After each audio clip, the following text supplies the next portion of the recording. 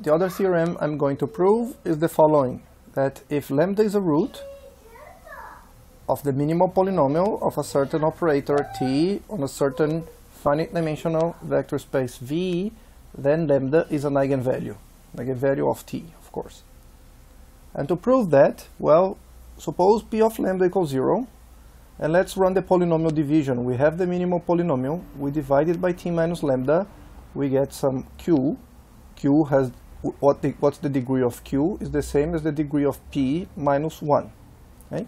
Plus some remainder, but then the remainder we know it has to have degree 0, so it's constant, and the constant has to be 0 because p of lambda equals 0.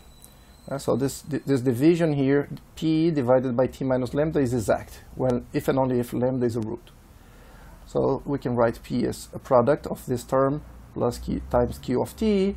q of t has degree less than the minimal degree.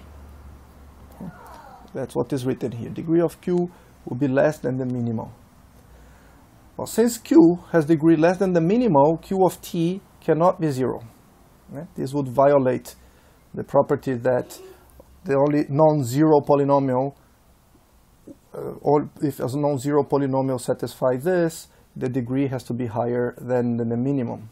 Because q is also a monic polynomial. If we look at the coefficient of t here is 1, of t here is 1, the leading coefficient is 1, 1, so here it's also 1, so it's monic. Uh, so q of t cannot be 0. So if, if q of t cannot be 0, well, look what is p of t equal the, the composition of t minus lambda i with q of capital T. This is 0, which means whatever vector we put here will give us 0. However, since q of, q of t is not 0, there exists some, the range is not, is not just 0. There exist non-zero vectors in the range of q of t and any vector in the range of q of t, so we put some u here, we get v here. When we apply t minus lambda i to v, we must get 0, because this operator here is 0. So we must have tv equal lambda v, so we found an eigenvector corresponding to lambda, so lambda is an eigenvalue.